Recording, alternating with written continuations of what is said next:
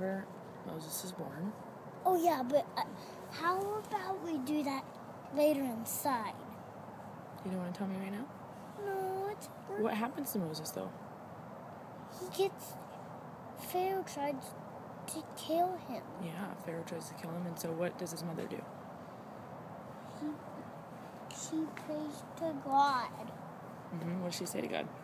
He says, "Please protect my faith." And then what does she do? And then she puts her in a basket with a blanket over her. And then what happens?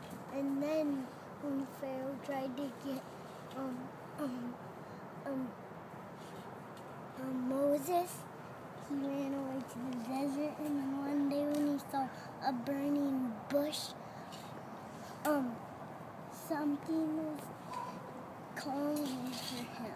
Wh- Who was calling to him? Um, um, God. And what did God say?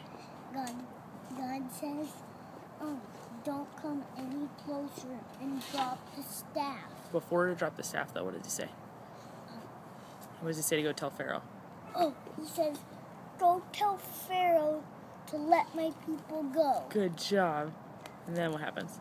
And then he said, drop, drop the staff down. Yeah. And What happens? into a snake. Oh my goodness. And And then then what he picks happens? it up on the tail, and then um, he, it turns into a staff again. That is so good. Do you remember what God tells Moses at the very end? Mm, Not to come any closer ever. No, after he does the snake and the staff. He says, I am with you and believe in me.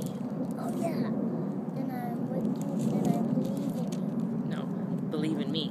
God tells Moses to believe in me. Good job.